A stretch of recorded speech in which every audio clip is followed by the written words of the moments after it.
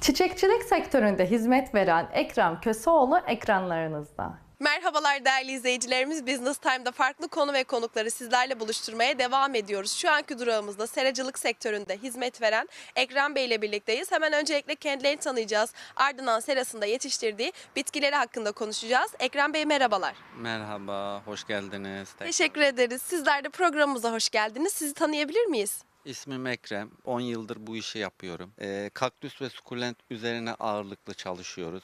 Şimdi ağırlık olarak sukulent ve kaktüs e, bitkisi yetiştiriyoruz dediniz. Bunların bakımından bahsedelim mi? Saksıya diktikleri ürünün kesinlikle saksının delik olması gerekiyor. Bu bir.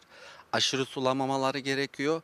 Aşırı sulayacaklarsa güneş güneşe çıkarmaları gerekiyor. Kaktüs ve sukulentten bahsediyorum. Alanındaki başarılı isimleri sizlerle buluşturmaya devam ediyoruz. Hoşçakalın.